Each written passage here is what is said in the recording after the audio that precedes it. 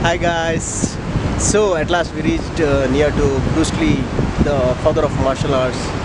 Yeah.